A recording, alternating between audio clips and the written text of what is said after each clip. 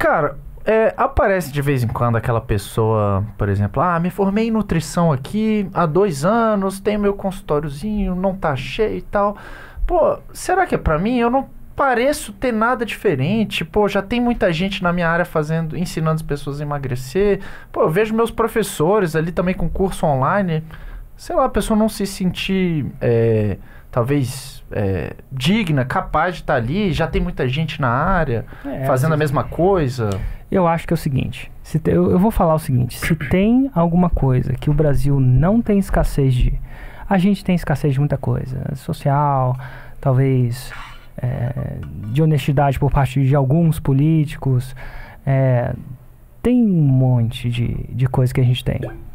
Mas tem uma coisa que a gente não tem escassez: é problema. Se ela parar de pensar em produto e começar a pensar cara, deixa eu parar um pouquinho aqui, pensar menos de mim e começar a olhar. Será que na minha área ao lado, com mesmo tudo isso acontecendo, tem gente que tem um problema? Eu vou te falar, se ela só treinar a mente dela para ver os problemas, se no caso dela, a área dela ou fora da área dela, ela vai ela vai ver. Se eu te treinar a ver um carro, a gente tem uma brincadeira que eu tenho um carro que eu plotei de amarelo. Pintei de amarelo. E aí a gente. E era raro carro amarelo. Aí eu com os meus filhos, às vezes viajando, você tem que arrumar jogos, né? Então a gente fala assim, que tipo, senão eles tocam terror. um com o outro. Então você tem que interter. Não tem jeito, cara. E aí a gente fa- faz um jogo que toda vez que a gente entra num carro, quem vê mais carro amarelo ganha. E cara, não tem muito carro amarelo. Não vale ônibus, tá? Não vale ônibus. Cara, que ônibus é muito fácil. Porque não é carro, né? Caminhão também não. Caminhão também não. Tem que ser carro. Que ser- pode ser uma caminhonete, mas, mas tem que ser carro. Pode ser um SUV, mas pode passar de. e aí, cara, é impressionante que os dois ficam. E é um jogo é justo, mesmo para uma criança pequena quanto uma criança grande. Ele fica. Carro amarelo, carro amarelo, carro amarelo.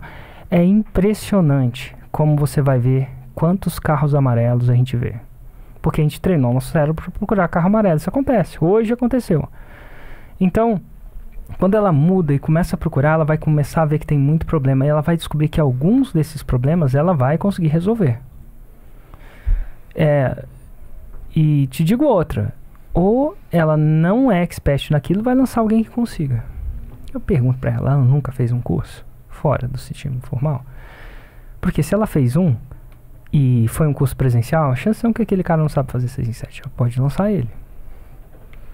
Então, nem que ela não veja em si a pessoa que vai resolver o problema por alguma razão de aptidão mesmo, o que não tem escassez é o problema. Se eu chegar pra vocês e fazer o jogo do carro rosa, cara, a gente vai começar a ver muito carro rosa. Principalmente se tiver, se colocar com meus filhos, cara, agora é carro rosa, não vale carro preto. Tem muito carro rosa, tem mais carro rosa. Tem uns de premiação aí, é, é como é que é? Da Mary, Mary Kay. A galera Kay. da Mary Kay, né? Massa, cara. Então mudar o viés de, pô, em vez de ah, muita concorrência na minha área, pô, que problema que eu sou capaz de resolver, né? E, e um- e uma mentalidade, quando ela sacar que tem que o país que ela vive, se ela viver no Brasil, e fora também, mas eu falo que o Brasil, cara, o Brasil é especial. O Brasil tem problema para Dedéu. se ela só pensa, se ela começar a acreditar que problema é abundante, acabou. E ela treinar o problema que ela quer ver. Mas aí eu conversando com esse, com esse tatuador, e o cara não lançava, velho. E por que, que você não tá lançando? Não, velho, porque eu tô gravando o meu curso. E aí ele foi me mostrar o curso dele. Cara, dava pra postar na Netflix. De verdade, assim, bem produzido. Sério. Só que, tipo, era uma aula, acho. Que, que ele tinha feito.